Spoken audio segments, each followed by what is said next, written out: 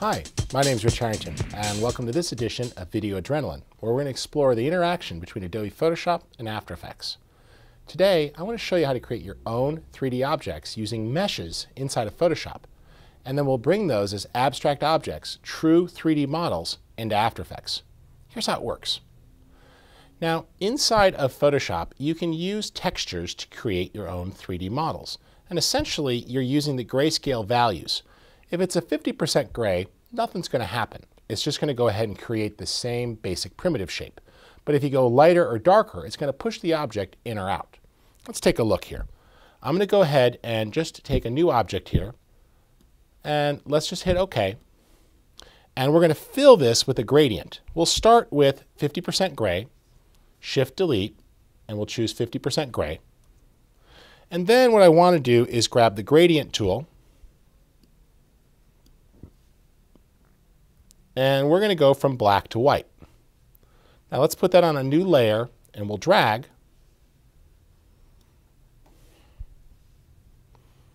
And we'll do a linear gradient from top to bottom. And we'll back that off just a little bit. Okay, so what you see there is that instead of pure 50% gray, we've got black and white. It's getting a little bit darker on one end and a little bit lighter on the other. Now let's start here and we're going to make two layers to begin with. This is going to be called Mesh 2 and Mesh 1. Now with Mesh 1 selected, when I say 3D, new mesh from grayscale, and let's just do a cylinder. With the pure gray, it just makes a simple cylinder. However, if we do that same command on this layer that goes from darker gray to lighter gray, you're going to see something cool happen.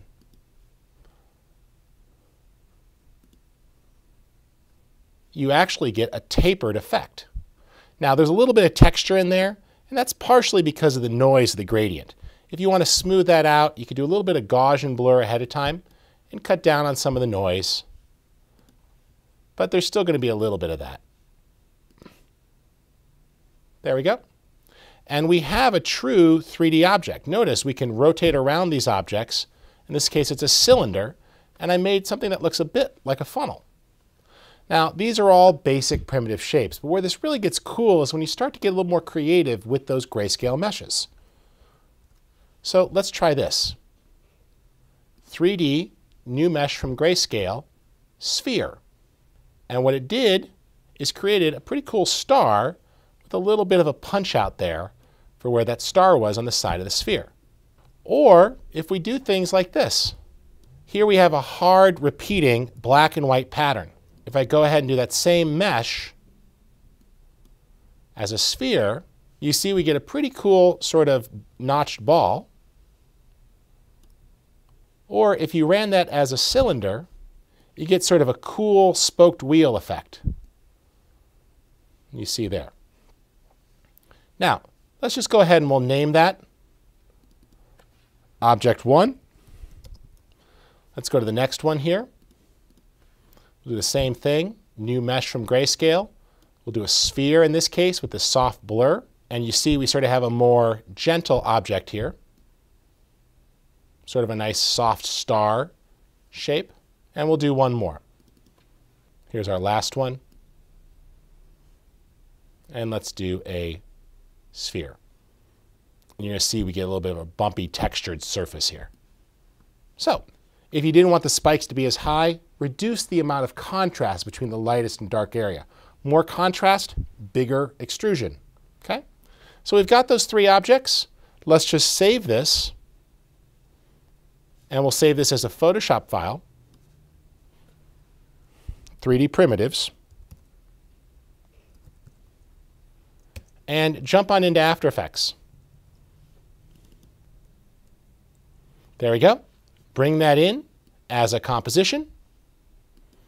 And in the import dialog box, make sure you tell it to bring in the live 3D objects, live Photoshop 3D. So when you do that now, you're going to see in this particular case that we have three pre-comps.